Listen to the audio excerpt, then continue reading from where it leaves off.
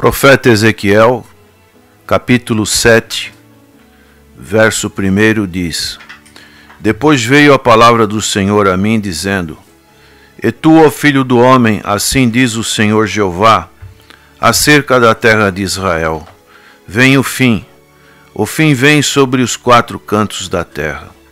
Agora vem o fim sobre ti, porque enviarei sobre ti a minha ira, e te julgarei conforme os teus caminhos e trarei sobre ti todas as tuas abominações. E não te poupará o meu olho, nem terei piedade de ti, mas porei sobre ti os meus caminhos, e as tuas abominações estarão no meio de ti. E sabereis que eu sou o Senhor. Assim diz o Senhor Jeová: o mal, eis que um, um só mal vem. Vem o fim, o fim vem despertou-se contra ti. Eis que vem, vem a tua sentença, ó habitante da terra. Vem o tempo, chegado é o dia da turbação, e não da alegria sobre os montes. O profeta Ezequiel, ele utiliza repetições sobre o final dos tempos, o fim vem. E nós podemos fazer uma comparação, um paralelo com o texto que está no livro de Gênesis, capítulo 41, quando passou-se um período de grande fartura na terra do Egito e depois houve uma grande escassez lá naquela terra. E a interpretação do sonho de Faraó, feita por José do Egito, mostrava uma duplicidade. É o que encontramos no capítulo 41 de Gênesis, verso 32. E o sonho foi duplicado duas vezes a Faraó. E porque esta coisa é determinada de Deus, e Deus se apressa a fazê-la. Então nós vemos que nesse sonho, Faraó teve é, o sonho de sete vacas formosas e sete espigas formosas. Depois ele teve sete vacas magras e sete espigas que eram espigas é, frágeis, espigas miúdas. E essa duplicidade é, é coisa, como diz aqui o texto de verso 32, que o, te, o sonho foi duplicado duas vezes. E esta é coisa determinada de Deus e Deus se apressa a fazê-la. Então, diante dessa advertência, tanto no caso de José do Egito, de Gênesis, como nós vemos também no caso agora do profeta Ezequiel, qual deve ser a nossa postura? Será que nós é, vemos que na nossa vida e todas as coisas ela tem um começo, um meio e um fim. Se você vai num supermercado, você tem um interesse numa mercadoria, especialmente um, um comestível, você analisa o prazo de validade. Você não vai comprar um, um objeto alimentício com a sua data de validade vencida, porque pode lhe fazer mal. Então todos nós temos que entender que nós temos um tempo também neste mundo. O, Sal, o Moisés dizia no Salmo 90 que, falando da brevidade da nossa vida, ensina-nos a contar os nossos dias para que alcancemos corações sábios. Ele dizia mais que o curso da nossa vida é de 70 a 80 anos, e o que passa disso é canseira e enfado. Então, é, deve ser não uma preocupação, mas deve ser um motivo de analisarmos como vai ser o nosso fim. Nós vemos na experiência da vida cristã quantas pessoas começam bem no caminho do Senhor. E, e, e, são alegres e são pessoas produtivas, frutíferas, mas com o passar do tempo, essas pessoas, por alguma intercorrência, que são vários os fatores, é, essas pessoas paralisam, essas pessoas desaparecem, essas pessoas que eram assíduas, frequentadoras da igreja, gostavam de ouvir a palavra, às vezes quando tinham oportunidades de orar, elas abriam seus corações, agradeciam a Deus, às vezes as emoções tomavam conta de suas vidas, choravam e ficavam alegres, mas com o passar do tempo há um esfriamento, vem algumas decepções e a constância na vida espiritual, por algum motivo, é abalada. E nós precisamos cumprir com a nossa carreira. Não podemos parar no meio do caminho. O livro de O Peregrino de João Bunyan, ele é uma, uma alegoria dessa nossa caminhada por este mundo.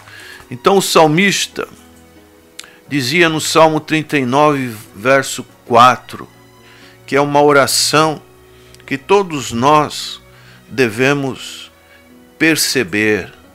Faze-me conhecer, Senhor, o meu fim, e a medida dos meus dias qual é. Olha que palavras sábias, para que eu sinta quanto sou frágil. Então, Davi ora para que Deus o ajude a perceber quão curta é a duração da nossa vida. E no Salmo nesse mesmo Salmo, verso 11, ele diz: Se com repreensões castigas alguém por causa da iniquidade, logo destrói, como traças, a sua beleza. De sorte que todo homem é vaidade. Como diz também Salomão no livro de Eclesiastes: tudo vaidade, tudo paz. Então, esta deve ser uma solene preocupação nas orações de todos os crentes. Deus reservou a cada um de nós um tempo muito breve aqui na terra, como um período de provação, probatório que nós estamos passando. Isso precisamos entender para averiguar, para mensurar nossa fidelidade a Ele é, em meio a uma geração perversa que se opõe a Deus e a Sua palavra, a Sua igreja. Então, o cristão deve viver nesse mundo os dias da sua vida não preso às coisas deste mundo, pouco pensando nessas coisas, mas pensando nas coisas celestiais. Paulo fala isso em Colossenses capítulo 3, verso 1. Se já ressuscitaste com Cristo, pensai nas coisas lá de cima, onde Cristo está sentado à destra de Deus. Por isso, nós, cada um de nós, precisa a contar, aprenda a contar os nossos dias. E somente aquilo que você faz para Deus e para o próximo é perdurará para sempre. O Senhor contou aquela parábola do rico insensato, né? Capítulo 12 de Lucas.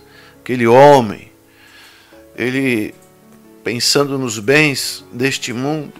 Destruirei os meus celeiros, construirei outros maiores. Coloquei, colocarei os grãos, as, o, as colheitas. E aí ele iria dizer: alma, goza, farta-te dos teus bens. Quantas pessoas estão buscando essas riquezas passageiras? E aí Jesus advertiu: Louco, esta noite te pedirão a tua alma. E o que tens? Para quem será? Nós, como diz Jó, nascemos nu, sem roupa nenhuma neste mundo e voltamos nu para este mundo. De maneiras que precisamos estarmos observando os tempos. O Senhor Jesus, em Mateus 24, 14, ele fala no sermão profético, ele fala sobre esse fim. Ele diz em Mateus 24, 14: Este evangelho do reino será pregado em todo o mundo, em testemunho a todas as gentes. Então virá o fim. E nós cremos que com os meios de comunicação que encontramos é, em nossos dias, esses meios de comunicação, eles estão é, penetrando em todo este universo. Nós não sabemos até que ponto este evangelho foi pregado em todas as nações. Não sabemos mensurar. E dessa maneira precisamos estarmos preparados para enfrentar este momento de juízo da parte de Deus. Como diz o apóstolo Pedro em 1 Pedro capítulo 4, verso 7, e já está próximo o fim de todas as coisas. E aí ele dá a sua recomendação, que é muito importante para a nossa vida espiritual. Portanto, sede sóbrios e vigiai em oração. Essa é a maneira de estarmos aguardando este momento do fim. Também ele diz nesse mesmo 1 Pedro 4, no verso 17 agora, porque já é tempo que comece o julgamento pela casa de Deus. E se primeiro começa por nós, qual será o fim daqueles que são desobedientes ao Evangelho de Deus? Portanto, nós precisamos vigiar. Portanto, precisamos estar sóbrios para que realmente esse momento que nós não sabemos não nos pegue desprevenidos, sem estar com a mão no arado, mas devemos ter uma vida constante, como dizia Billy Graham, vivendo cada dia como se fosse o dia da volta do Senhor Jesus Cristo. E nós temos uma grande promessa: nós não estamos sozinhos, nós temos a real, maravilhosa companhia do Senhor Jesus Cristo. Nós temos a Igreja do Senhor, os nossos irmãos, nossos companheiros e companheiras de jornadas, que muitas das vezes nós não damos o devido valor. Mas eu digo para vocês, a vida cristã não é uma vida individual, é uma vida coletiva, é um ajuntamento. O Senhor sempre falou das minhas ovelhas. Ele nunca usou no singular, mas ele sempre falou no plural. Então agradeça a Deus. Existe às vezes muitas questões entre os irmãos, e isso faz parte do aprendizagem da nossa caminhada cristã, mas é muito importante procurarmos termos comunhão, comunhão, comunhão com todos os nossos irmãos, tanto os, os irmãos que fazem parte da nossa igreja local, como os, os irmãos de outras igrejas, porque afinal, lá nas moradas celestiais não vai ter placa de igreja, denominação de igreja. Então precisamos caminhar juntos, porque a jornada é pesada. E muitas das vezes vamos precisar de um ombro amigo, de uma água, de uma mão que nos ajuda a atravessar os pântanos da vida espiritual que são muito comuns, os perigos, as ratoeiras, é, as setas. E nós precisamos sim reconhecer que nós precisamos uns dos outros, como o próprio Senhor Jesus, naquele momento ali no jardim de Getsemane, ele se viu só, aquele momento mais angustiante da sua jornada aqui na terra, ele precisando do apoio daqueles seus três discípulos mais íntimos, e esse apoio seria simplesmente em intercessão ele viu aqueles discípulos simples, simplesmente alheios, dormindo, enquanto o Senhor passava por uma necessidade tremenda. É como você vê uma pessoa precisando da sua ajuda, às vezes até morrendo, e você não ser aquele bom samaritano que estende a sua mão para ajudar o seu irmão numa situação tão desfavorável. Então a jornada cristã, neste preparo deste fim, ela precisa sim da ajuda de Deus, como disse Jesus em João capítulo 13, quando estava próximo da sua partida deste mundo, antes da festa da Páscoa, sabendo Jesus que já era chegado a sua hora, de passar deste mundo para o Pai, como havia amado os seus que estavam no mundo. Amou-os até o fim. Então, que o nosso amor ele não seja um amor para Cristo, um amor passageiro, um amor momentâneo. Muitas pessoas querem as bênçãos de Deus, mas não querem o Deus das, das bênçãos. Querem Deus apenas por uma temporada, porque estão doentes, estão aflitas, passam por uma necessidade material, passam por uma necessidade familiar, buscam a Deus.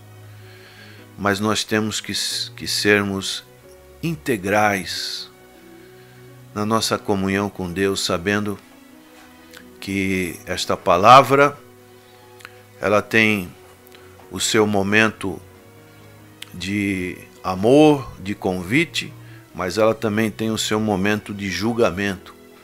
E nós não podemos ficar isentos, achando que tudo é mil maravilhas. Não. O fim vem. O fim vem sobre toda a terra e nós precisamos estarmos preparados. Que Deus te abençoe nesta preparação, para que o seu fim seja um fim em comunhão com Cristo e com, em comunhão com a sua igreja. Amém.